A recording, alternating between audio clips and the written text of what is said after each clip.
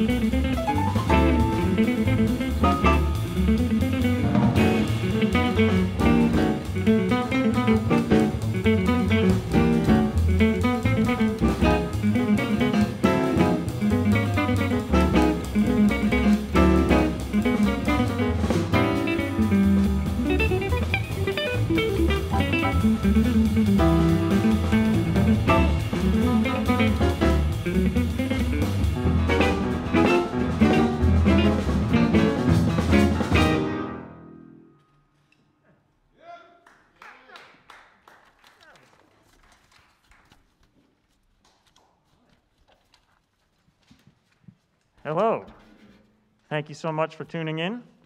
Really appreciate it. Uh, it's such a pleasure to be here at Fulton Street Collective, making music with these gentlemen. Uh, as Chris had mentioned, we are doing the uh, Pat Martino record, Interchange, and that first song is entitled Catch. It really, that tune has kind of become, I don't know if, uh, if an anthem is the right word, but whenever I have seen Pat play in, in concert, that song makes the cut, and it's always a blast. So it's really, uh, really fun to have gotten the chance to play that tune. Catch my breath for a second here. Um, this record is a, uh, for me, a pretty influential record uh, on, on a number of accounts. The first of which, um, for those of you who may not be familiar with Pat Martino's story, is that in, uh, in 1980, he, uh, he had a brain aneurysm which rendered him incapable of playing his instrument as a result of amnesia. And over the course of the next maybe 10 to 12 years, he relearned to play by essentially listening to records that people said, Yeah, this is you playing from the 60s and the 70s. You sound like this. And he essentially relearned how to, how to play guitar and to play like him. And that is a quite a miraculous feat. And so that is uh, not only an inspiring story on its own, but it was a particularly inspiring story for me because I came to uh, I came to this record right around the time when I was deciding to make music professionally. When I was uh, maybe 19 or 20, and it was just a, it was a really good really good push in the direction of this music is really exciting. Go for it. So it's a, uh, it's a it's a pretty influential record to me for those reasons, and I'm so thrilled to be making this music with these gentlemen. How about a hand again at home? And the few of us in the room, we got Neal Alger on the guitar. We got, uh, we got Greg Artry on the drums, of course. We have uh, Larry Kohut on the bass.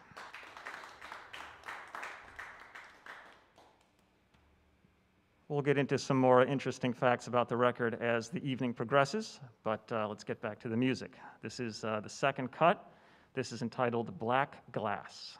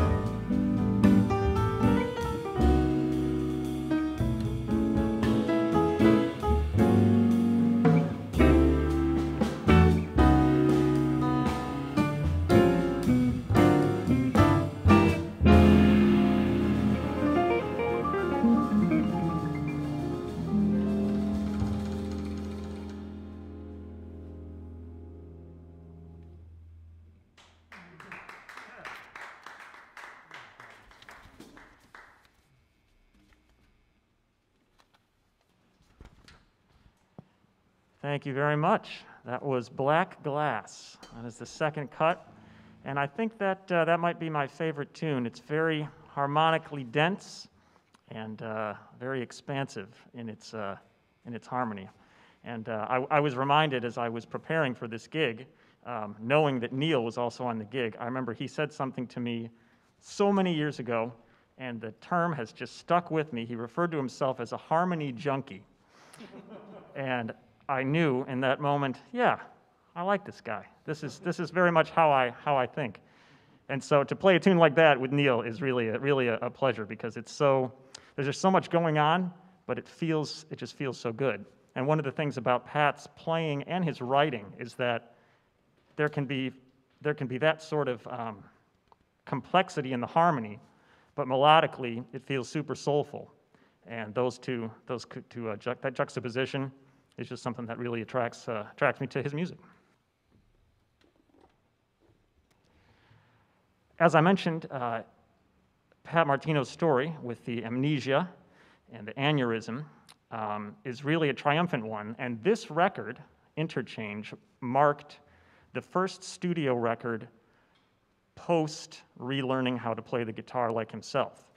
And uh, you know, his earlier output in the 60s and 70s has just a ton of really great music, really stellar records. I even considered doing one of those for this, uh, this concert. But I thought that given our times, that uh, sort of a, a before and after type story like his and this record seemed appropriate. So, I don't know, kind of uh, that story and this music gives me hope for whatever's on the other side of what we got going on now.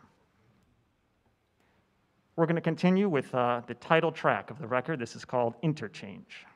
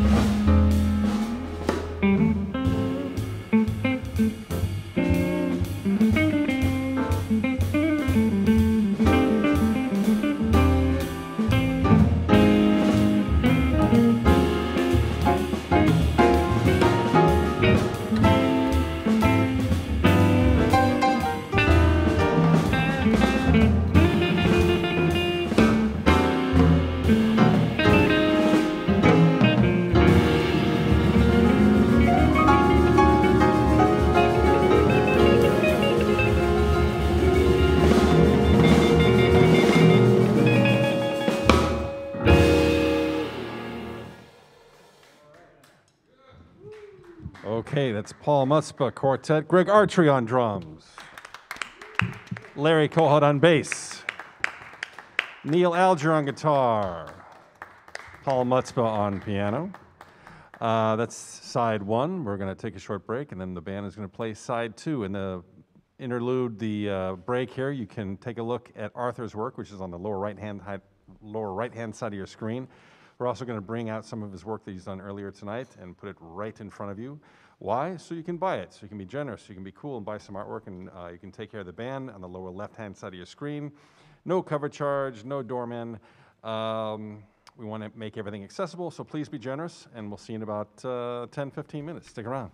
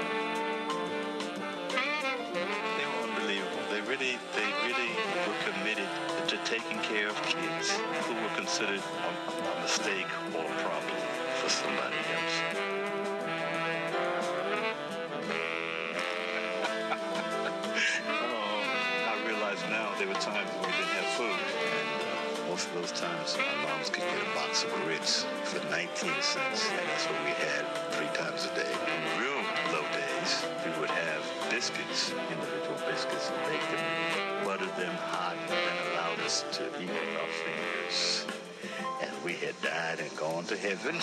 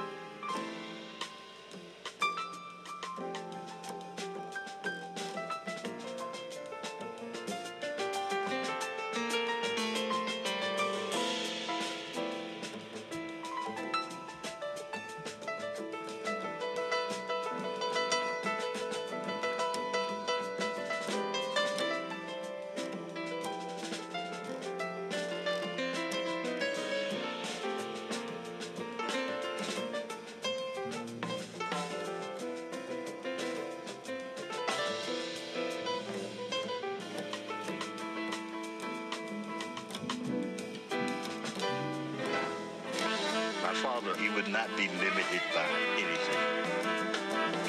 I didn't have to, but I struggled with college. So uh, after my sophomore year, I was dismissed from the university. I knew he would be very hurt by it. The next day, uh, he called the school. He just knew there was a president, and that's who he wanted to speak to. So I spoke to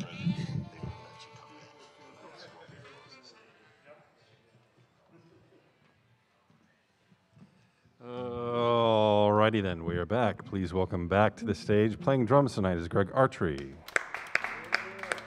On bass, Larry Kohut. At guitar, Neal Alger. And at piano, Paul Mutzabaugh.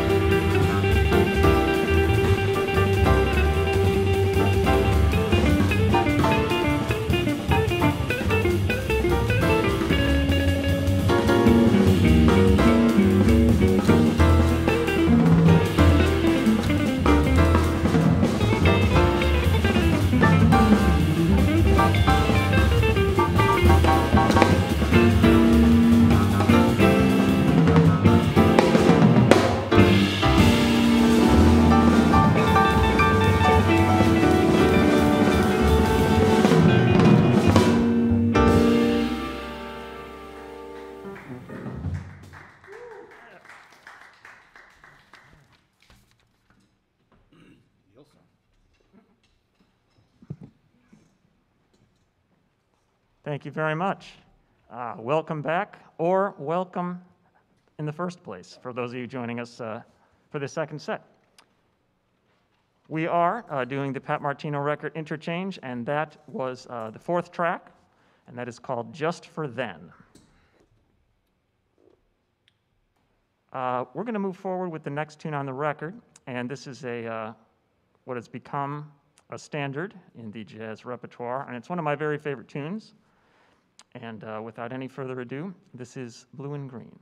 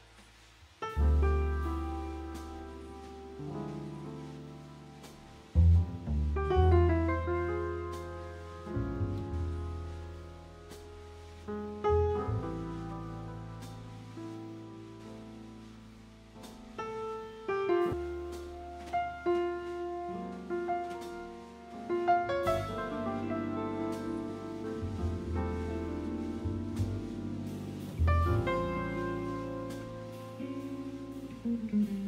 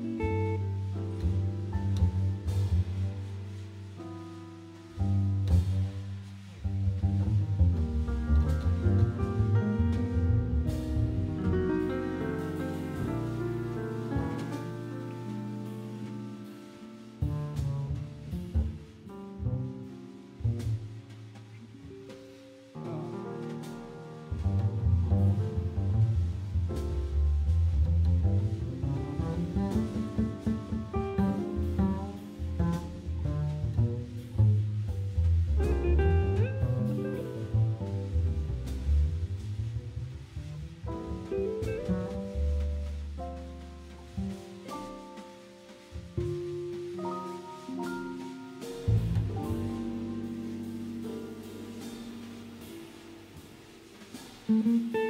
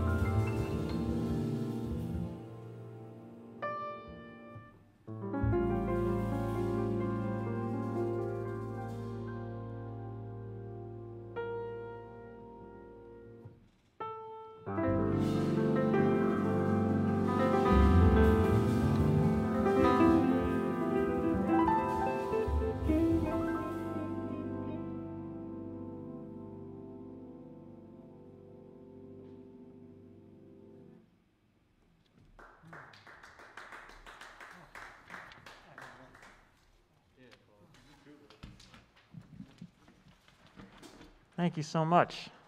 That was Blue and Green, and uh, a round of applause is deserved for, uh, for Mr. Larry Kohut on the bass. Larry and I have uh, logged countless hours of music and hanging together, and uh, of, uh, just a dear friend, and I, I, I appreciate so much the opportunity to make music with you. And uh, it's been quite a long time since that's happened, and yet it feels like no time's passed at all. Thanks, Larry. It's really great. We also have, of course, Greg Artry on the drums. It's always such a pleasure to make music with Greg as well. It's, it's equal parts uh, comfortable, encouraging, sensitive, and surprising. And what more could you ask for, really? It's just such a pleasure, man. It's awesome. Thank you. Uh, we have also Neal Alger on the guitar, of course. It's, uh, it's really a pleasure to make, make music with Neal. Um, playing gigs with multiple comping instruments can, uh, can sometimes be a little bit of a lucha libre, uh, a little bit of a fight if, uh, if, if folks aren't sensitive and if, if folks are, are, don't have uh, sort of their ears at high alert. And Neal, that's the only, that's the only uh, setting his ears have. So it's, it's really a pleasure to be in this environment, to enjoy him, to be inspired by him. And uh, yeah, thanks for doing the gig, man. It's great. We also have, of course, Arthur Wright with the glorious painting. It's really wonderful. Uh, I did one of these uh, jazz record art things a little while back, uh, doing a weather report gig, and Arthur was on that. And I was very excited to see that he was going to be on this one because I remember enjoying his work thoroughly on that. And come on now, it just looks, it, it's beautiful, really beautiful. We also have Kenny running the sound, as I, as I like to say. This music doesn't really make it, it doesn't make its way to you without, uh, without someone who's putting in a serious amount of care in the audio. So, especially in an environment like this, where this is the only way that it can be heard, really appreciate uh, people like him. So, thank you, Kenny. And of course, Chris Anderson and everyone here at Fulton Street Collective, um, so appreciative of this opportunity. I was, I was watching the gig yesterday. Uh, Ashley Summers mentioned uh, that she's going to have to start calling you St. Christopher, and I think that's uh, it's totally appropriate. This, uh, this situation that's going on right here is really, it's really um, a blessing for us to have, and it's, uh, it's done in such a way that it's so safe and so comfortable, such that all we, all we need to focus on is making music, and that's, that's not easy to do in these times. So thank you, Chris. We are going to close this evening with the final tune of the record, and this is entitled Recollection. Really appreciate everyone tuning in from wherever you're from, whether you're from here in Chicago. I think I might have some folks up in, up in Ontario watching, down in Mexico City, muchísimas gracias, and maybe tomorrow some friends in, uh, in Germany. Vielen Dank. Wherever you're from, thank you so much for tuning in. This is Recollection.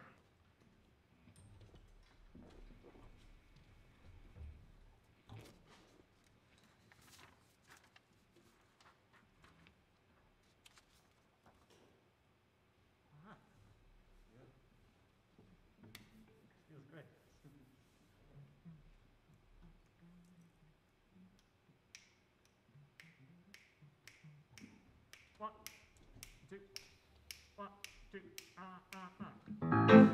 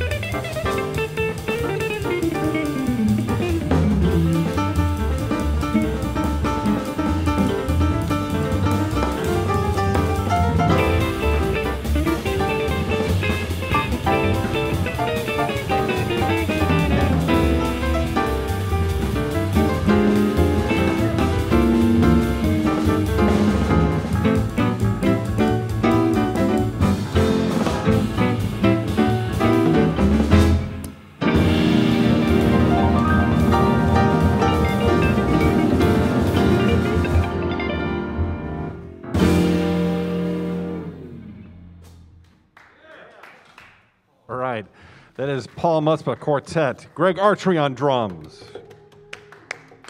Come on, everybody around the world, put your hands together.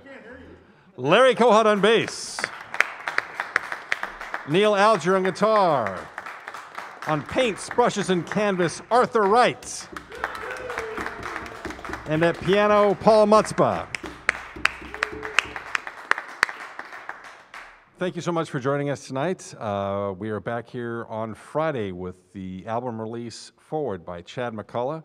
Uh, actually, Paul Mutz will be back here for that. He's on keys. Uh, we have Matt Ulery on bass, John Deitemyer on drums, uh, Paul Bedal on piano, and Chad's going to be playing, I think he's playing trumpet that night. Um, the visual artist that night is Ryan Miller. So please come back for that. Same time, same station. Uh, on your lower left-hand side of your screen, please be generous, please be kind. I'm sure you've been looking at it all night while listening to the music and deciding, should I do this? Yes, you should do it because that's how we're taking care of the band, the artist, and Fulton Street Collective. So please be generous. And that's about it. I think, uh, give it up for Kenny on sound. And uh, that's about it. We're going to show a few pieces of uh, that Arthur has done, including the big one, the little ones, and we're going to. That's about it. So we'll see you Friday night. Thank you so much. Until then, keep your mask on.